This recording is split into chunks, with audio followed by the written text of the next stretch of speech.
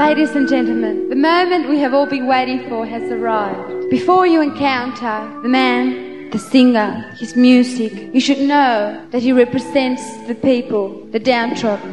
In his own words, says, I won't teach the worker anything about exploitation. My song only endeavors to put light on why things happen. To those who have heard him, he does this very successfully, and his music has crossed many frontiers.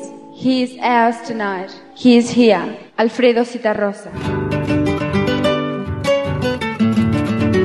Nació el cantor Alfredo Citarrosa? Siendo un hombre que hizo periodismo, fue locutor y que además hizo un- una cantidad de oficios bastante diferentes, ¿no? A la infancia, bueno, fue una infancia eh, muy difícil por la siguiente cuestión. Alfredo Citarrosa nos hablan de una madre que era bailarina y de un padre que se dedicaba a los negocios, es así. En efecto. ¿Los negocios de, de su padre, qué tipo de negocios eran? Mi padre con un hermano suyo mayor tenían un periódico en Buenos Aires. Mi padre es argentino. Se llama El Crédito del Comercio. Papá viajaba haciendo no sé qué clase de negocios que tenían que ver con este periódico. Viajaba por toda América Latina, Centroamérica y Sudamérica. Y mi madre, que era bailarina, lo acompañaba y muchas veces coincidían en sus giras en diferentes países. La madre lo dejó al cuidado de un matrimonio mayor, el hombre policía en ese momento, de condición modesta, que lo crió Alfredo con mucho cariño. De ahí que yo me haya criado con unos tíos. Eh, hasta que tuve 14 años y mis padres finalmente se establecieron en Uruguay, donde hicimos, hicieron su casa y tal, y yo me reuní con ellos. Ya había nacido mi hermana. Me crié con unos tíos que son para mí, allá en lo hondo de la sensibilidad personal, mis padres, puesto que con ellos aprendí todo lo que sé o casi todo. De modo que cuando hablo de mis padres suelo hablar de los Durán. En cambio, mis padres, por cierto, son Alfredo Citarrosa y Blanca Iribarne. Mi madre era bailarina y cantante. De ella heredo muchas cosas. La afición por las artes, incluso la voz. Ninguno de nosotros conoce la cortita en la vida de Cita Rosa. Por eso también queríamos escuchar alguna historia que nos cuentes de, lo que era su forma de ser. Tenía un sentido del humor muy particular. Yo creo que Alfredo era una persona, fue una persona especial.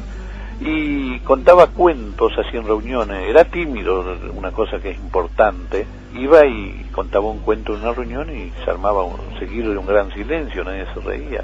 Él pedía permiso, pasaba al baño y volvía al ratito y como tenía confianza conmigo me decía, genial el cuento, digo, buenísimo, genial. Pero nadie se rió y le digo porque no, no están, no entienden. Y, dice- y me- y le digo, ¿qué te pasó? No fui a reírme al baño. Se reía de su propio, se reía de su propio cuento. No era sumamente simpático, no estaba todo el día a la risa, era más bien parco. Entre sus cosas no le gustaba perder al truco, por ejemplo, que cuando perdía no se ponía nada contento, por decir. Ya te digo, un gran compañero, pero bueno, tenía su forma de ser como, como tenemos todos y exactamente no era eh, eh, tan simpático como de repente alguna gente podía creer, ¿no? Sonríe, Alfredo me dice, yo no estoy acostumbrado, de veras, a sonreír en mi oficio de cantar no resulta fácil, más bien es inoportuno, en cambio debo hacerlo aquí frente al micrófono, me cuesta un poquito todavía hoy. El cantor le termina copando la parada al poeta que él quería ser. ¿Cómo llega al mundo artístico Alfredo Citarrosa? Después de un viaje al Perú en el año 61, eh, me reintegro al trabajo de locutor en mi país. Ni la prensa, ni la radio, ni la televisión les concedían la importancia que verdaderamente tenían. Bueno, como un profesional de la canción, eh, en el año 62 en el Perú, y, pero canto desde chiquito, eh, si se puede llamar cantar, ¿no? A mí no... Bueno, dejemos eso. Allí estoy yo, subido al micrófono, me suda la camisa, tiemblo de miedo, canto, otros se angustian, aplauden, patean, se consuelan de tanto dolor que han sufrido. No comprenden que de verdad estamos malheridos, pero comprenden el mío y me consuelan, ahí me aplaudieron, dijeron qué bonito, cómo toca la guitarra o al revés. Qué guitarristas bárbaros, cómo se ve que es un vivo, así cualquiera canta. Naturalmente tenía voz de soprano, a los 6, 7 años. Cantaba los repertorios de dos años. Música mexicana, por cierto. Me conocía todos los boleros mexicanos, cantaba paso doble. Algunas milongas también, que a mi padre le gustaban, yo cantaba, pero me daba más por lo melódico. Siendo niño, claro. Posteriormente debuté en el Sodre cantando. En aquella época todavía no había integrado yo un trío de guitarras. Cantando solo, canté en el Sodre. Y a partir de esa actuación en el Sodre fui invitado a Cosquín, en el 65 vine a Cosquín. Citarrosa nació en una familia de la pequeña burguesía. Empezó a trabajar muy pronto como vendedor de muebles, como agente de suscripciones, como una sociedad médica, auxiliar administrativo de una oficina. También fue locutor de radio, fue actor, fue animador de televisión, periodista. Etc. Sí, desempeñé varios oficios, pero nunca pensé en dedicarme a cantar hasta que en el año 72 me quedé sin trabajo. Yo pensaba irme a Cuba. Mm, venía de Uruguay, estaba en el Perú, había estado un año trabajando como periodista en la prensa y en el semanario Siete Días. Me quedé sin trabajo y un amigo mío personal, por cierto desaparecido, un entrañable amigo César Urán, que regenteaba una agencia de publicidad, me indujo a cantar en televisión. Para eso integramos un trío con un argentino, Martín Torres. Tengo entendido que falleció Martín Torres hace poco en, en París. Y con ese trío tocamos dos canciones en televisión. ¿Ya componías? Yo tenía cosas escritas ya para otros cantores, gente amiga, ¿no? Como por ejemplo Nelson Rodríguez, una samba que había hecho para él, pensando en una novia de él que era mi amiga, recordándote, es una de las primeras canciones que hice. Oigo tu voz llamándome, recuerdo que devuelve el tiempo. El que ha vivido penando. Milonga para una niña, él había hecho esa canción, mi amigo. Pero en el programa de televisión yo canté una, una samba de Difulvio, el guitarrero, y Milonga para una niña, con Martín Torres. Esto fue en el año 62. Me pagaron 50 dólares, fue la primera vez que cobré por cantar, de modo que mi carrera profesional comienza en esos años. Y grabé por primera vez en Uruguay, en el año 63, un disco simple que abrió el mercado para la canción popular propiamente uruguaya en Uruguay. Tuvo mucha suerte, apoyado como estuvo por mi compañero de la radiotelefonía. El gremio radiotelefónico tomó ese disco como cosa propia y lo difundió de modo que los propios uruguayos pensaban que era un cantor argentino, naturalmente. ¿Dónde estará mi arrabal? ¿Quién se robó mi niñez?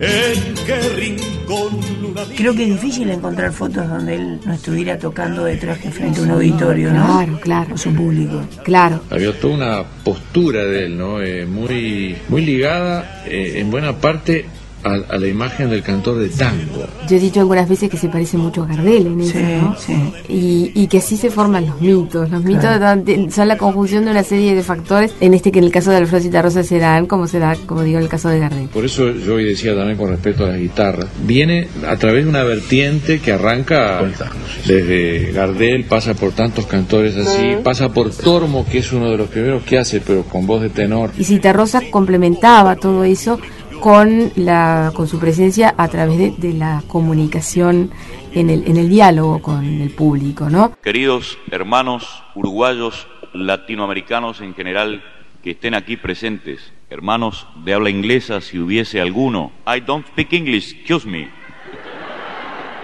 I am a, a South American singing. And we are rivet, ¿cómo se diría eso? Después de pasar ocho meses en Argentina esperando a los suyos, decide ir a radicar a España. Dice que le gusta, que tiene un amor especial por lo español, por su cultura, sus ciudades y su riquísimo folclore. Me llamó Bigliete un día y me dice, mira Naldo, está muy mal Alfredo en Madrid, ¿por qué no hacen algo para, para ver si lo podemos? Esa actitud de Bigliete realmente me conmovió de preocuparse por Alfredo. Y bueno, ahí nos conectamos con un representante que tenía, un tal Carlos, que no recuerdo. Exactamente. Y bueno, así lo llevamos a México, que ahí ocurrió una anécdota fantástica que fuimos con Julio Solórzano, un productor mexicano, a hablar con el ministro de Cultura. Nos recibió una, una cita muy difícil de conseguir con el ministro. Y bueno, Julio dice, estamos acá en la tarea con, con Aldo Labrín de traer a, a Cita Rosa a México. Y el ministro dice, ah, qué interesante, ¿qué es lo que canta esta chica? O sea, eh, escuchó Cita Rosa y pensó que era un hombre compuesto. Claro. Pero como son los mexicanos, hábilmente Julio llevó la conversación sin decir nada. Yo me tenté mucho, pero no me reía porque era el ministro y bueno, estábamos buscando a sponsor. Cuando salimos y nos largamos a las carcajadas. Alfredo Citarrosa vendrá a México a partir del día 6 de julio próximo. Tendremos oportunidad de verlo en seis conciertos que ofrecerá en el Auditorio Nacional, compartiendo con grupos de nuestro país. Esto es para nosotros una oportunidad de presenciar el arte de un hombre que le canta a lo humano con humano sentimiento. Tampoco conocían a Manuel Guarneros, que él sí es del DF. Eh, Manuel Guarneros. Soy más maduro, entiendo lo que le ha de haber costado a Alfredo y los dolores de cabeza que le hemos de haber provocado en los ensayos. Porque mira, llegaban guitarristas eh, argentinos, por ejemplo, llegaban Aldo Labrín, llegaban otros guitarristas a reuniones que teníamos, en 10, 15 minutos tenían una canción puesta, ¿no? Y la podíamos tocar, o la podían tocar ellos muy rápido. Y nosotros tardábamos dos, tres, cuatro, cinco días ensayando un ritmo ensayando la introducción, el toque que Alfredo buscaba para entenderlo, para encontrarlo. Fue con mucha paciencia y con mucho nosotros porque ahora sé que le costó algo de trabajo que, agarrara- que agarráramos el toque. Incluso hubo canciones que él ensayábamos y no hacía, no hacía en vivo. Seguramente era porque no las agarrábamos todavía, no las encontrábamos, no nos lo decía, pero eso pasaba. Hacía- A veces hacía el comentario, no es que algo le falta, algo le falta. Ese comentario que haces de Verónica Castro, recuerdo que con burla le dijo, si usted la escucha bien, es un poco diferente. Yo vengo aquí con cuatro compañeros mexicanos. I came here with four Mexican friends. Ellos en su país me han dado pruebas firmes de auténtica fraternidad. They have, in their own country, given me genuine proof of their fraternity and brotherhood. Conmovedora solidaridad con nuestra canción popular exiliada y más que con nuestra canción popular exiliada, con nuestro pueblo uruguayo. A finales de noviembre de 1976, Alfredo Citarrosa se ve obligado por la situación imperante en su país a exilarse, como uno más entre la multitud de intelectuales, artistas y profesionales que se ven obligados a abandonar el cono sur americano en uno de los exilios culturales más importantes que registra la reciente historia.